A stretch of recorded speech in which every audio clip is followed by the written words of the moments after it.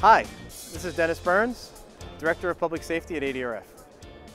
So yes, even though the show is, uh, is a little bit smaller this year, uh, the, uh, the, bottom line is it's great to be out here, you know, face to face, you know, with our customers, uh, you know, you know, interacting, where you can actually look someone in the eye, even though we're all wearing masks uh, look someone in the eye and be able to communicate, you know, face to face versus, uh, you know, through a, a, Zoom or a team screen. So it's, in that, in that respect, it's been wonderful to be out here on the road and communicate with our partners directly and talk face to face.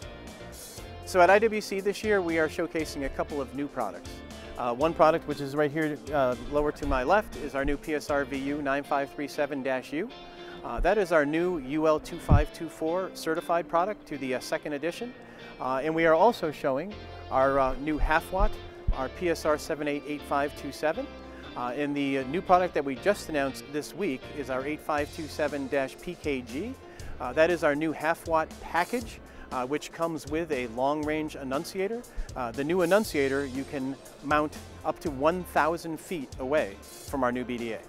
So one of the demonstrations that we are showing here is the PSR VU connected to the Edwards EST4 fire alarm control panel.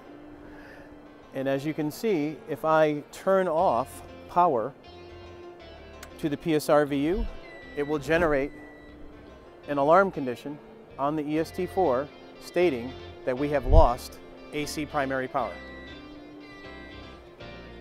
So I'm, uh, I'm, I'm, very excited to be you know, part of ADRF and uh, the, uh, the president of uh, Safer Buildings Coalition. Uh, you know, ADRF being the leader in the public safety space and what the Safer Buildings is doing to drive that awareness uh, for first responder systems. We as ADRF, we will be involved in Chicago on October 15th, so please come join us for the Safer Buildings Seminar. they're always extremely popular events. Uh, education to uh, bring you up to speed on code updates, uh, talk about some, some changes that are coming up, updates on the No Noise Task Force, uh, and the overall Safer Buildings mission as we move into 2022. Hi, my name is Joyce Weiss and I'm the Southern California District Manager for Edwards Fire Alarm.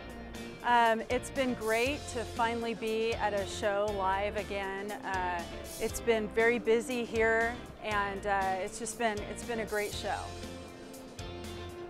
The partner between Edwards and ADRF has been uh, something we've been wanting for a long time. So a lot of our partners are benefiting and will benefit a lot in the future with uh, DAS being so prevalent with uh, the fire alarm now in the different cities in the market. So uh, this is a great benefit for us to have a partnership like this and uh, so far it's been wonderful and very much needed. Uh, it's great to be partnered with such a wonderful company.